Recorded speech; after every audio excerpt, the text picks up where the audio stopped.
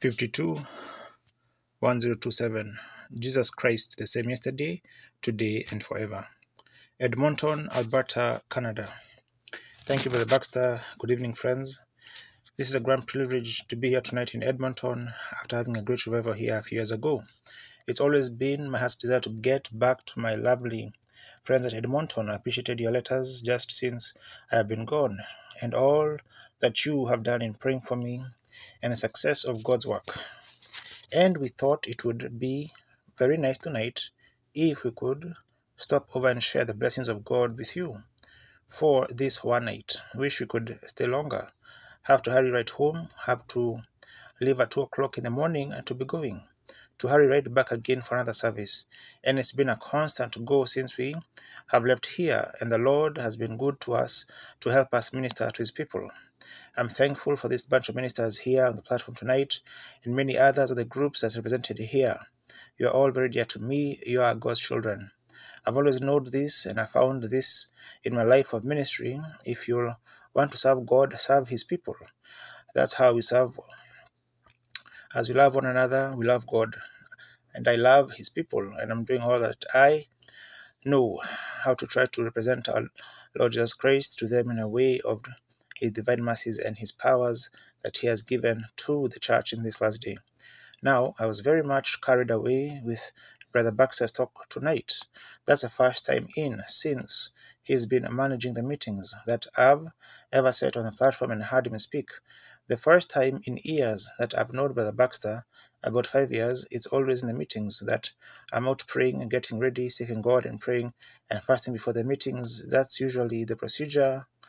We I never get into the meetings until the time to come right in under the anointing of the Holy Spirit and go right into praying for the sick. And I certainly like the way he's presented that, and that's the way that I've always tried to present it to the people. But many magazines and so forth has presented me as a divine healer and so forth. But friends, that's wrong. I'm your brother. I'm no divine healer. I'm just one of you. If you will let me be. God be blessed for bringing me into your fold. There's many men in here sitting near by me was preach, probably preaching the gospel when I was a baby. And I feel very humble to be standing here tonight before ministers who are aged and preached the word so long, who paved the road and made it easy for me to come.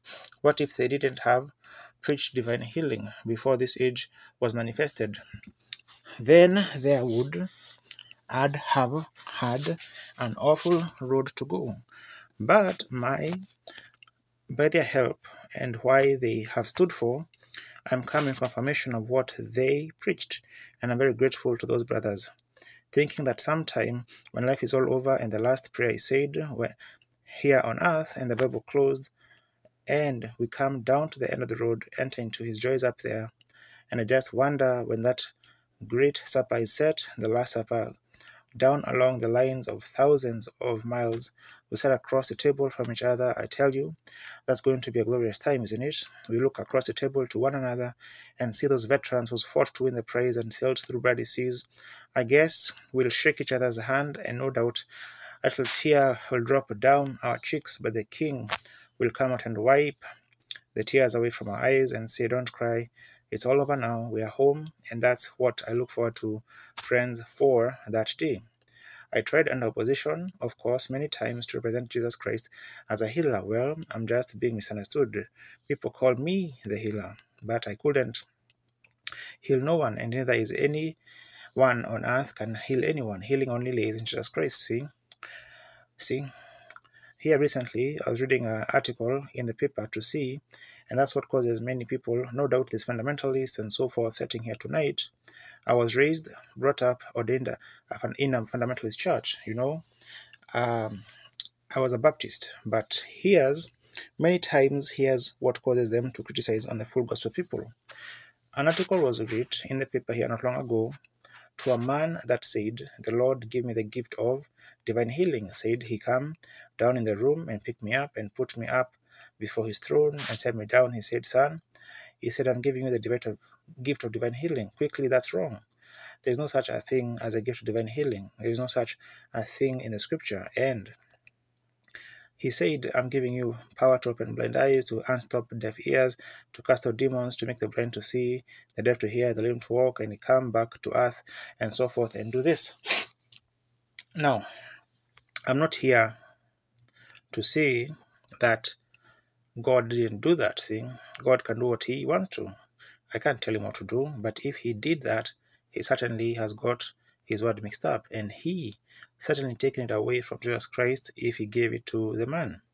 If He, if you bought me a suit of clothes and the purchasing price of that suit of clothes was $50 and you give me $50 it's not yours anymore it's mine see and if he give me power to open the blinded eyes, to unstop deaf ears, it doesn't belong in Calvary no more, it belongs to me.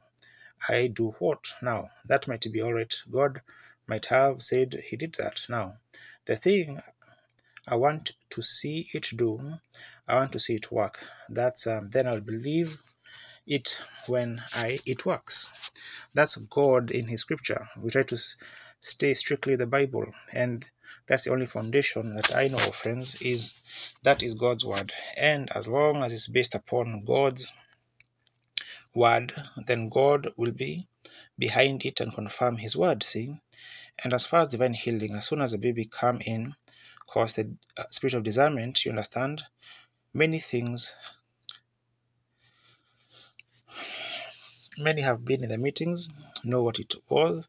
The boy come in, I seen him come up to Mr. Baxter there. The boy is um, going to die right away if God doesn't help him. He has cancer. And he went down and talked to the boy. He, he come back, said, that's exactly right. See, it's uh, that's knowing the thing. That's different. That doesn't heal people. As many of you has been in the meetings this week at Grande Prairie, you see sin and things, so forth, which is revealed and told to people. Why? That cannot be hid. Now, see, that's see, that's a divine gift. But healing is in Calvary, see, is your faith there. Now, a gift of healing doesn't mean that man heals somebody. It means the man has got faith in divine healing that can point them to the finished work of Jesus Christ at Calvary. How many that has been saved in the last 10 years, let's see your hand, been saved the last 10 years. Now, I don't want to differ with you, but you wasn't saved in the last 10 years. You were saved 1900 years ago and you accepted it in the last 10 years. Is that right? That's right. See, you were saved 1900 years ago when Jesus Christ paid the purchase price for the sins of the world. Is that right? At Calvary. And he was wounded for transgressions. With his stripes we were healed 1900 years ago. Therefore, every person in this building tonight that's sick has been healed since 1900 years ago when Jesus died. That's where God did everything that he could do for the human race. He did it in Jesus Christ. Do you believe that? Now, the only thing that a divine gift can do is to stir your faith to that. Ministers preach the gospel, which is just as good as anything else, could be done better if a person can just take God at his word and see the work finished there at Calvary and accept it in their own life. That settles it right there. That's all. All is necessary. Then God, in His goodness, after that, has been sent gifts beside that into the church to manifest His love and His promises to the people. See what I mean? But every individual must look to Calvary. There's where it comes from. Is Calvary. Now, It's just like this God put the blood of Jesus Christ in a deposit box at Calvary to heal all manner of sicknesses and diseases and give every believer a checkbook with his name signed on the bottom of it. The only thing you have to do is fill out the check and send it in for any redemptive blessings that Jesus Christ died for. You believe that? Don't be afraid. If John D. Rockefeller would offer me a check tonight to build a new church for a million dollars, I wouldn't be afraid to fill it out. No, sir, because I believe John D. Rockefeller is worth it. And if Jesus Christ offered me a tonight too for my sickness that he healed me at Calvary, I'm not afraid to fill it out and hand it in there, go testifying that God has healed me no matter what the results is. I believe Jesus told the truth, see? That's where it comes from. It's what you believe, your attitude towards Jesus. Look at St. Mark 11:24. Jesus said, Whatever things you desire when you pray, believe you receive it, that's the order of the word now. Believe now you receive it. It shall be given unto you. Is that right? You shall have whatever you've asked for if you believe it. And now, he, if Jesus paid for it there, why?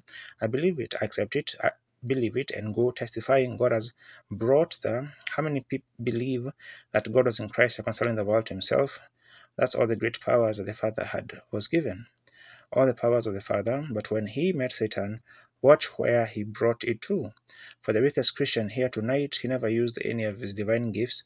When Satan came to him and said, If thou be the Son of God, command these stones to be made bread. Jesus said, It is written, the word of God, it is written, man shall not live by bread alone. Again, he was tested, and Jesus said, It is written. And the third time he was tested, and Jesus said, It is written. Is that right? Right to the word of God, showing that the weakest Christian can defeat Satan by it is written. If you believe the word of God, teaches it, believe it, accept it, and hang on to it, God will bring it to pass. Don't you believe that? It is written.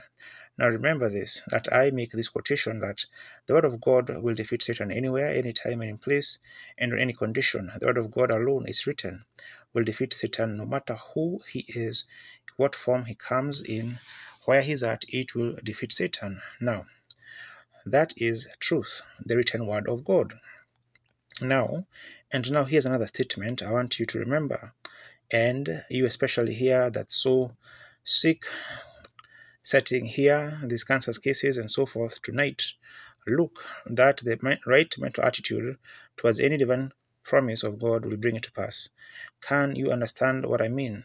The right mental attitude towards any divine promise of God will bring it to pass. If you take the right mental attitude towards anything God has promised, God's an obligation to see that you get it. That's right, because He promised it. Now, many times people misunderstand the meetings in this manner. Since I've been with you, there's been many, many things that happened. As you've probably kept up with it through the newspapers and so forth. By the way, did you read the reader, the writer, the Reader's Digest this month on the article was in there about my services in California, and they had it in straight. I told the man when he came down and he said there that I didn't ask nothing but told the boy what was wrong with it, and that's just with the medical help. If they be careful, the boy would get over that, and he did. The boy died later, but not with the disease. There's a nurse had let a window up, and they had a draft across him, and the child taken pneumonia and died. But not with the disease. See, now when God is under obligation to His word, now here's what takes place, friends. Now, in the coming meetings in June, if God willing, I'd like to come in first. Come to, we'll have plenty of time. Our meeting has always been too rushed, and across the nations, we found it so. I guess since we have been here, our, by God's grace and His, we've led to Jesus Christ right in our own meetings around three 150,000 souls to Christ in the past five or six years. In one day alone in South Africa, 30,000 raw heathens come to Jesus Christ in one single meeting. In one day, 30,000 raw heathens, when they see the manifestation of the Spirit of God given, where the witch doctors and everything else trying to find out what they could, and found that they were couldn't stand before it and give up and surrender themselves to God and was 30,000 in one day received Jesus Christ and breaking the idols, washing their face from uh, and so forth, and become Christians in one day. After seeing a man walked on his feet, hands and feet like a dog, I said, Of course, I can't heal the man. No one knows that, or I mean, everybody knows that, that I can't heal the man. But now, his life cannot be hid. Now, I want you to understand this, Christian friend. So I'll give you a little preview. How many here is to be prayed for? Let's see your hands. Wants to be prayed for. Now, anywhere in the building, just raise up your hand. I want to see your hand. Oh my, it will be almost help hopelessly, and but I'll pray for you. If that's you see, but I want you to notice this. How many has been in the meetings and sees the way the Holy Spirit moves and works with the people? Let's see your hand, how it tells them what they've done and the reason that they can't be healed and they have to go and make those things right. And some things they have done in their life and so forth, you've seen it in the meetings. It's um, that's uh, it. Now, people sometimes wonder. That's what makes them get a superstition about the ministry that the Lord has given. I just want to ask you one simple question, and then you'd be the judge yourself. Now, how many in this building believes that Jesus Christ is the same yesterday, today, and forever? All right, thank you for your confidence in our Lord. Now, if He is the same yesterday, today, and forever, He'll have to have some conception of what He is and His work is in order to see who He is. Is that right? We'd have to have to know something the way He did. Now let's trace back just a little bit through his life and see what he did. When he was on earth, and the Bible said he made himself no reputation, yet he was the creator. The man who made your false teeth, he got a reputation for doing that. The man who made them first had no reputation. The man who made an artificial arm made himself a reputation, but the man who made your real arm made his of himself no reputation. Is that right? Now, he may he was a humble man, and here he didn't claim to be anything of within himself. He gave all praise to the Father, God. Is that right? Now we notice when his ministry started. Now, I want you to watch his ministry. When his ministry started, they began to realize that there was something supernatural about the man. The Pharisees of Brother Baxter just got through saying they could not figure out. He knew the people, he knew their thoughts, he knew their hearts, he knew what was going on. And they said, well, now perhaps it's mental telepathy or psychology. And after a while, they seen the miracles and things that followed his ministry. Psychology won't do, mental telepathy won't produce. So then the only thing they could do, they couldn't figure it out, so they branded it in their own brand, is the devil. He's a chief fortune teller of the church, bunch. He's Beelzebub and send him away. Now notice, now there was a man named Philip who got saved and went to find his friend Nathaniel, and he said, Come see who have found Jesus of Nazareth, the one that Moses spoke of. Now watch there closely now. And Nathaniel, a good man, he said, Could any good thing come out of Nazareth? He said, Come see. And when he was coming, Jesus standing in the prayer line, perhaps praying for the sick or whatever he was doing, and when he saw Nathanael coming up, he said, Behold, an Israelite in whom there is no guile.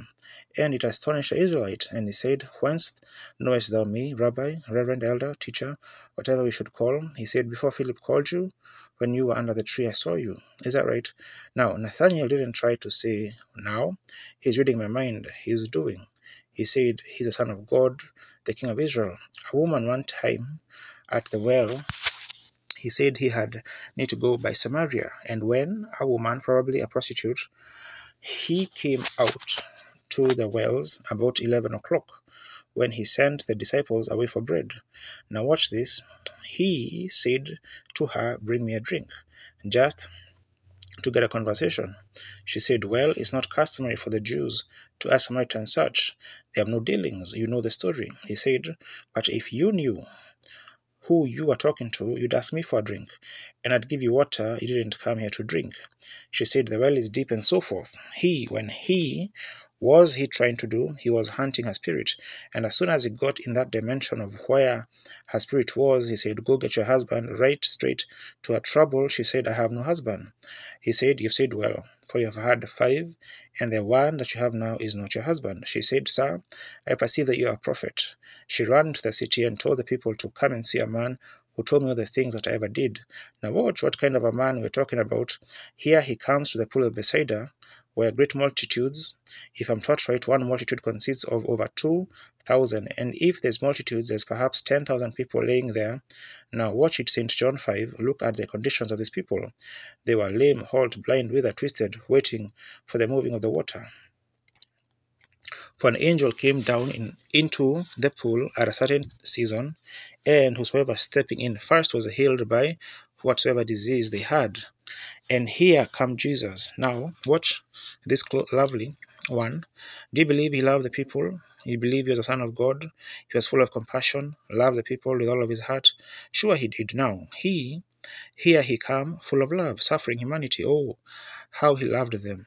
Here he comes down to this great uh, pool where he, this great mass of people is.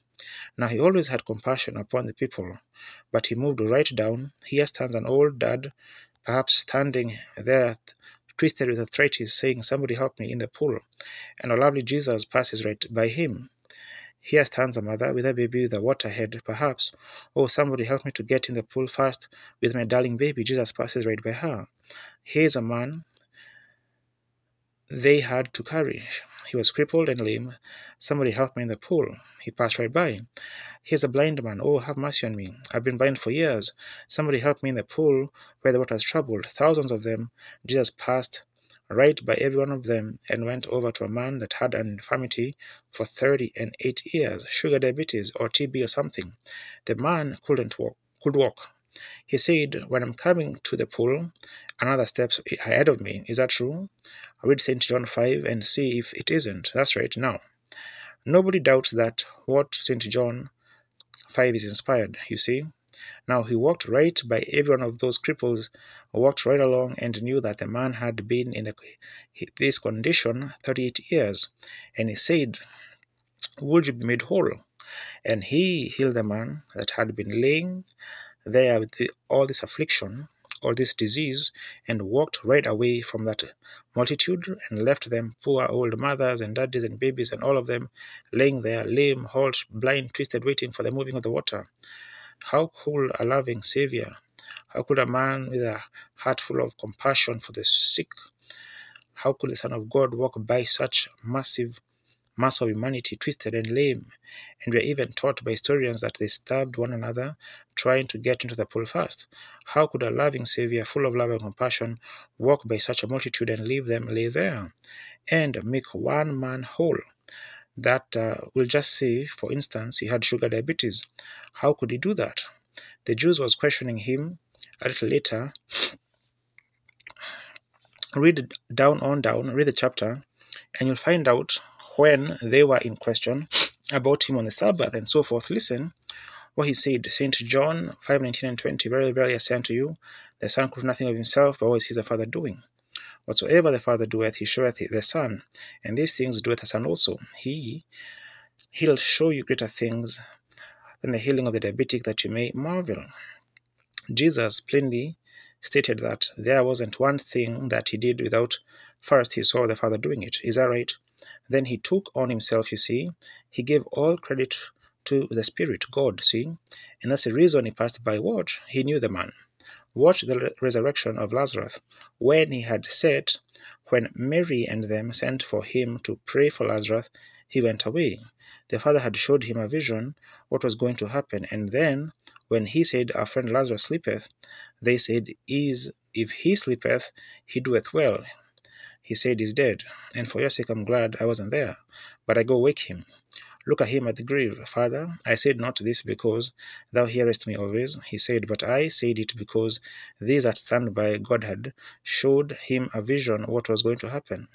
According to the Bible and Jesus' own words, he did not do one thing without first the Father showing him by a vision what to do. Is that right? How many believe that's true now? Read it, St. John 19, or St. John 5 19 and 20, you'll see it. Jesus said, I can do nothing within myself, but what I see the Father doing, that I do also. Then, if Jesus Christ, he said, The things that I do shall you do also. A little while, and the world seeth me no more, yet you'll see me, the church, the believer, for I'll be with you, even in you, to the end of the world, making Jesus Christ the same yesterday, today, and forever. Then if his spirit is with us tonight and with the church in this day, that same spirit that was upon Jesus Christ will be doing the same thing today that he did yesterday because Jesus Christ is the same yesterday, today, and forever. Is that right? The world misunderstood it. The world called it psychology. The world called it the chief of devils, but the world will always call it that.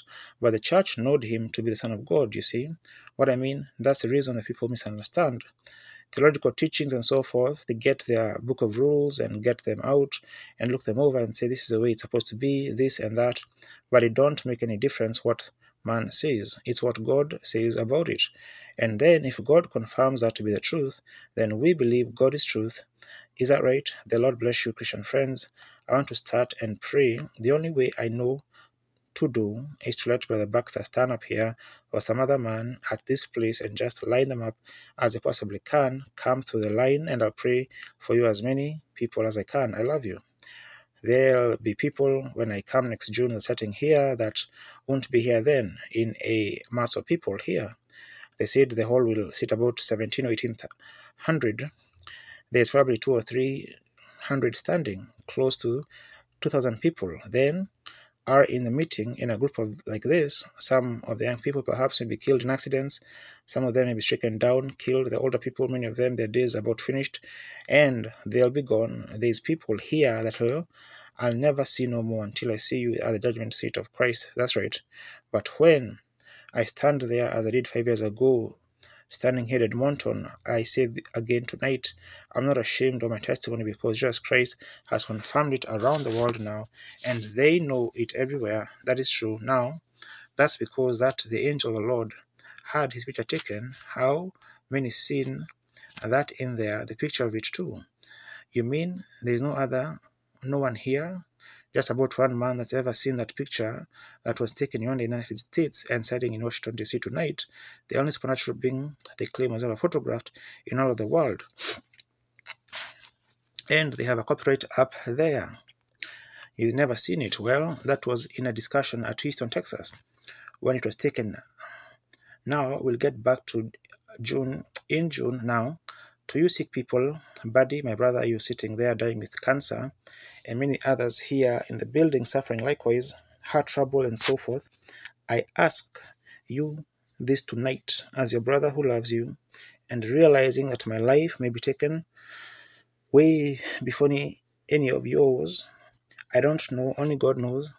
But here, if you will believe this, I say this with my Bible, and here's how how much I believe. I believe this is with all of my heart, knowing that I'm talking to the patches of the blood of Christ. God sent me into the world to pray for sick people, as He sent other men to preach the gospel and so forth.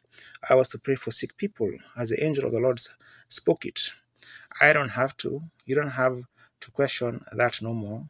That's confirmed among as many as 10 million people tonight, see? And that's the truth. Kings, potentates, monarchs, congressmen. How many had the healing of Congressman Upshaw in the United States? 66 years, an invalid, made perfectly whole.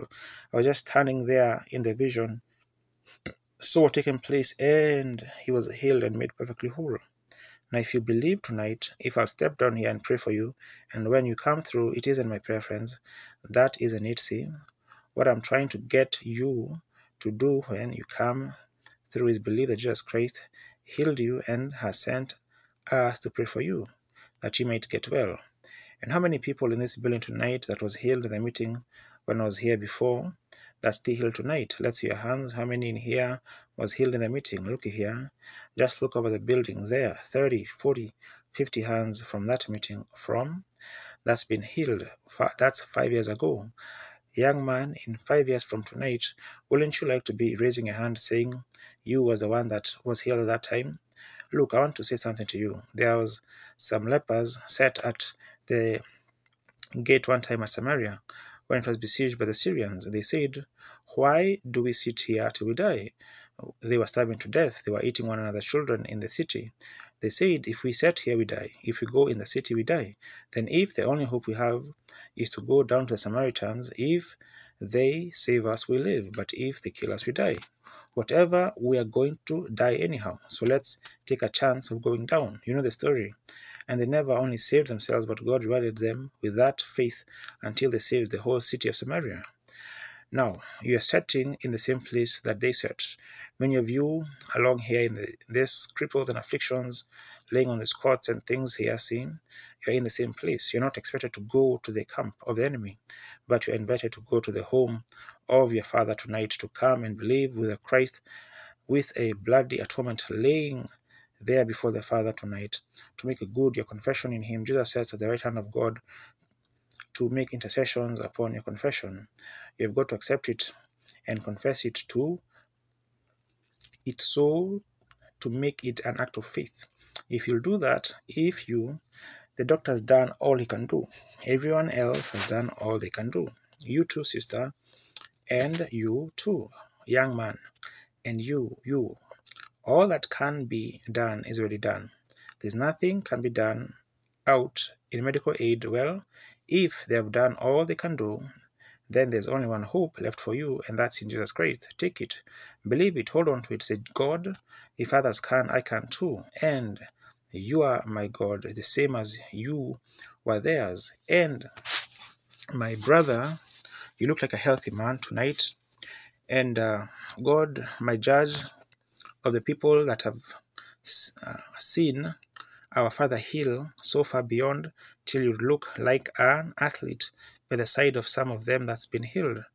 How many seen the picture of Florence Nightingale? It was yonder in London, England, when she only weighed about 37 pounds. She couldn't even move her hand or nothing. Cancer on the duodenum of the stomach. And while standing there praying for her, a little dove flew in, sat down on the window, and began to go back and forth, cooling. When I raised up, the ministers began to say, Did you see the dove?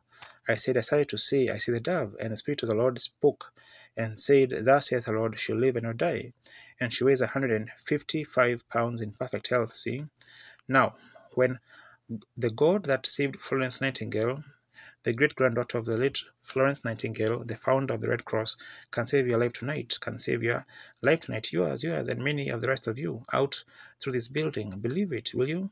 Ministers of God, as children of God, stand with me. This is a I've just come in from being away and it's I just there's so many here to be prayed for. I want to pray for everyone that I can. Brother Baxter, when I walk down through here to pray for the sick, will you have the people to line up? I believe they can come. Let his aisle come this way and then have the upstairs, you just arrange it. Brother Baxter speaks for three minutes making an announcement about moving cars and exhausts the people concerning divine healing and assemblies the prayer line. But prayer, Brother Baxter, while we can we have prayer while we while Brother Baxter is forming this line, or they are forming the line, dear Christian friends, I trust that your faith, it goes up now to God, that many things may be did here tonight. And don't just come for that purpose, but come believing now. Whatever it tells you to do, you do it. And if it speaks, no matter what it says, you go ahead and just do what it said. Now, I'll be responsible for the outcome of it. I'm just going to start praying for the sick. Get ready and then brother baxter speaks what time is closing time down here? About 10 o'clock. Yes now brother baxter speaks our heavenly father thinking just now of a lovely one coming down to the mountain. A father brought a boy and said lord he's variously vexed with the devil. He falls in the fire and in the water realizing today that we would call it epilepsy nothing seemed to be able to do him any good Jesus said, Do you believe? Said, I can if you believe. For all things are possible to them that believe.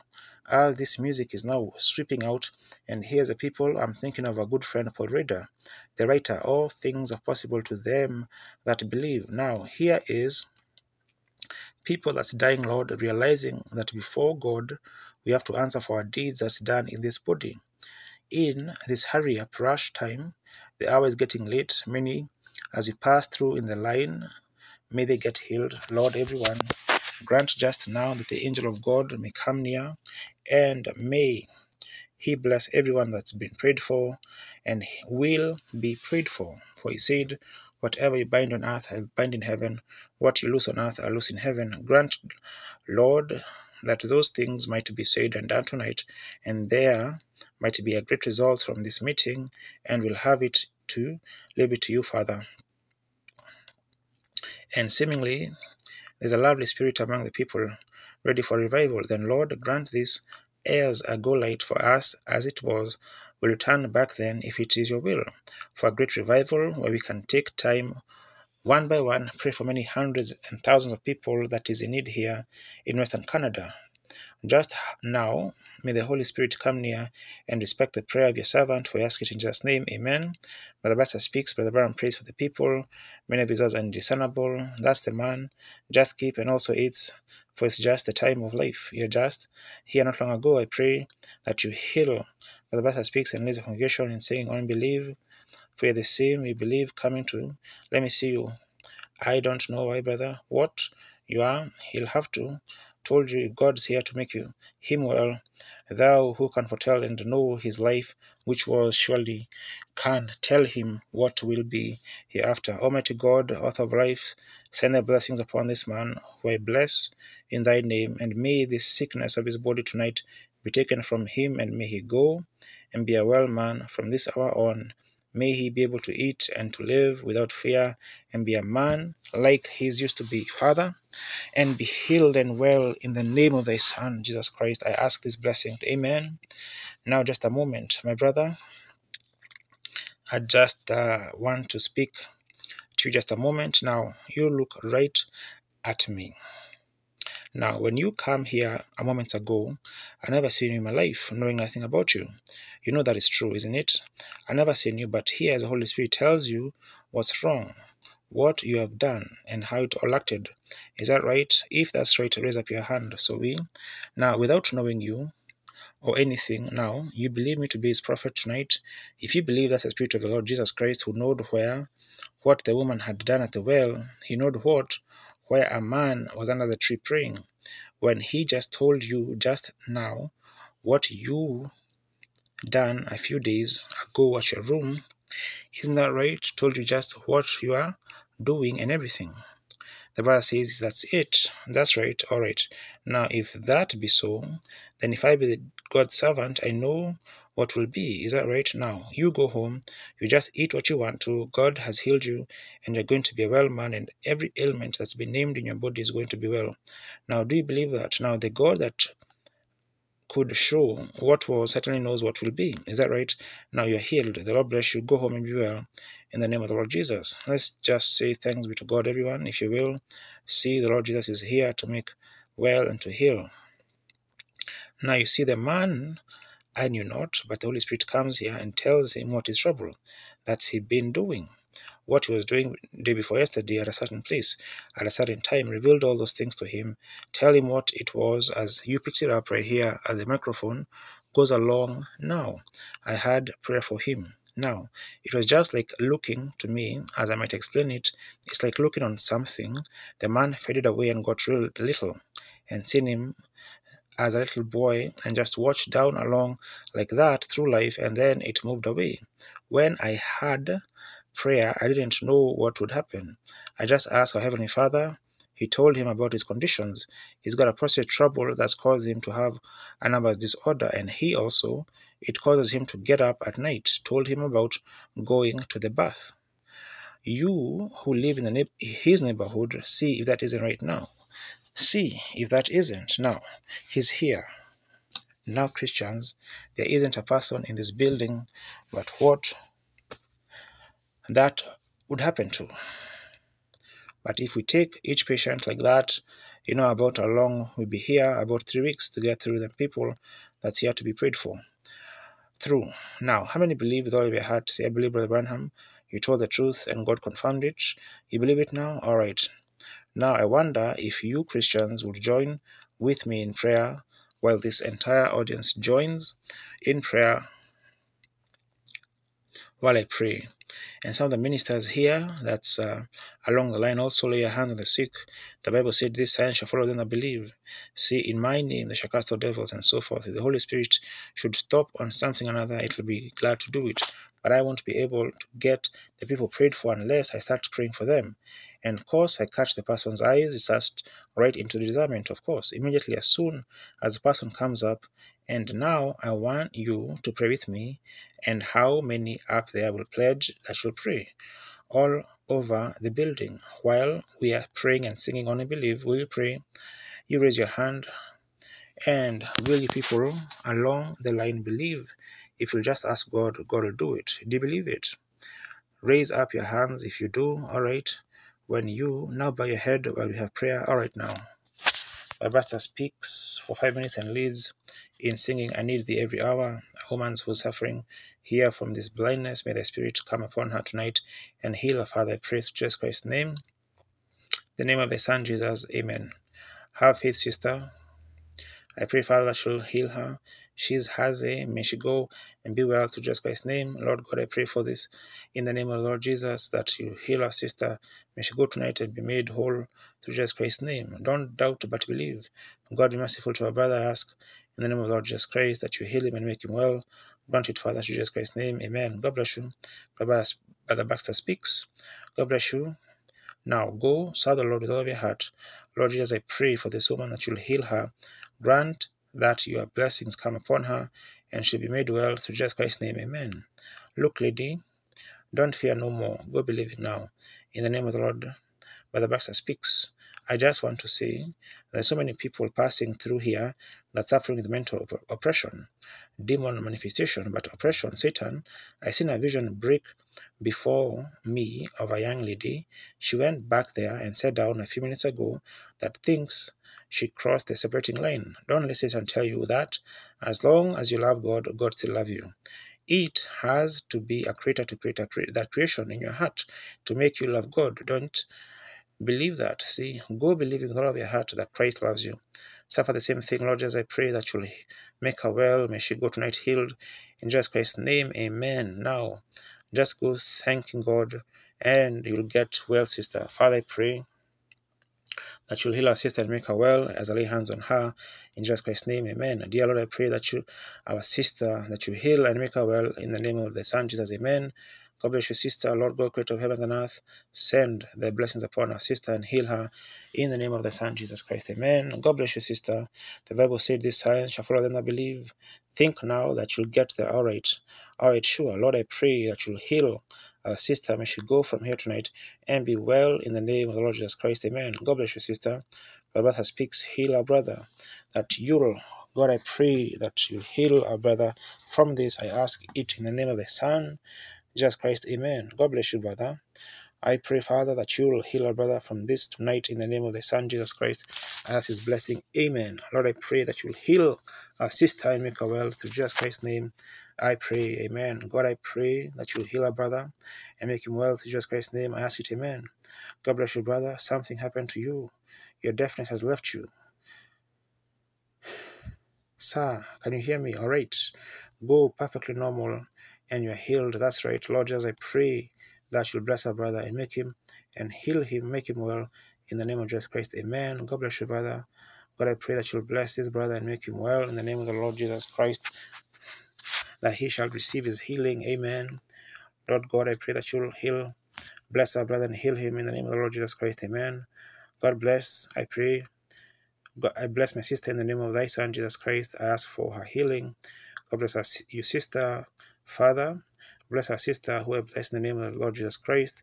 I pray that you will bless our brother, Lord, crippled up here, walking in the cane. May he be healed tonight. Make him a blessing, Lord, and a testimony as I ask that he believe in the name of Jesus Christ. Amen. You believe, my brother?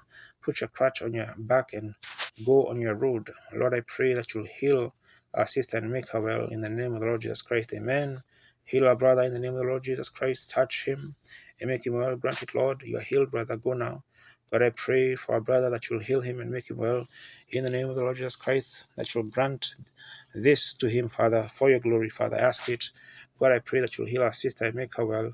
Through Jesus Christ's name. God, I ask for the healing of our sister here, that she'll be made well. Through Jesus Christ's name, I pray. Mom, yes, that's what to me God can heal. Do you believe He could heal?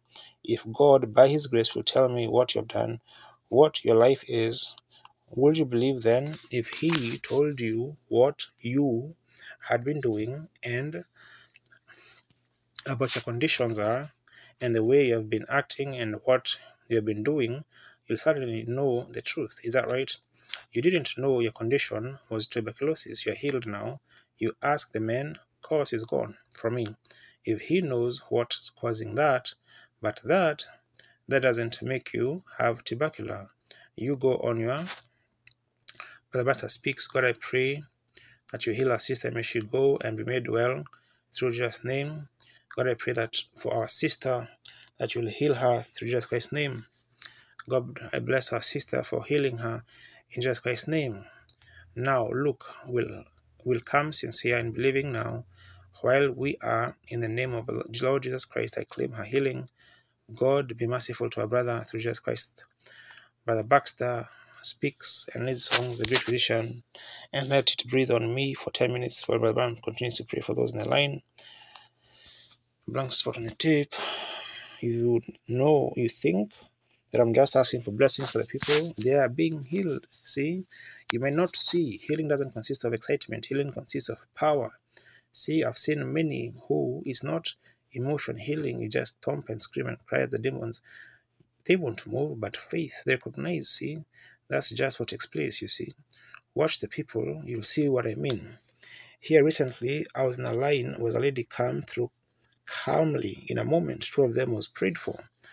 One of them had a growth on her neck, and one of them had a stomach trouble. It wasn't any different type of praying when it came to tell to me to tell them about what their conditions was. Once in a while, we had the Holy Spirit stop the people and tell them what they've got. But I'm trying to get everyone prayed for while I'm here tonight. And this lady, she was uh, told to go home. She's going to get well with a big growth on her neck. And the other was told by the Baxter knows of it, and uh, she had a stomach trouble. Told her she's going to get well, go home and eat what she wanted. Well, that she tried to do, and for about six weeks it was horrible. Everything she did, she'd vomit right up. And one morning she was standing washing the dishes and she just felt something went over her cool. She didn't know what happened. Had happened in a few minutes moments she felt like crying, so she started weeping. Then she got real hungry and she tried to eat a little piece of toast, and usually she just vomited up and hadn't come up. Then she ate some oats that was there at the table, and they were all right. And she drank a cup of coffee, it was all right. Then she sat down and ate a good hearty breakfast, it was all right.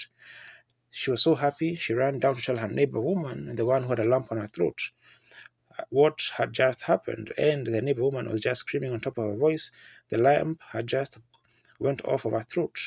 And now, that was weeks later, what had happened, please believe me, see, if I can get a sister here, here's why. Do you remember when Daniel, the prophet, there's an angel followed him? How many knows that's true? The angel of God, and Daniel prayed one time, I believe it was about 21 days for the angel could, is that right, doctor?